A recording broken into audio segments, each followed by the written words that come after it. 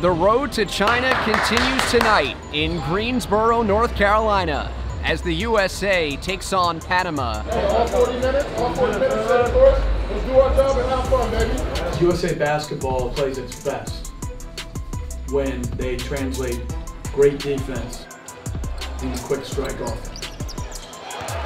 USA basketball plays their best when they're a dominant rebounding team. Do those things hard as well as together you can.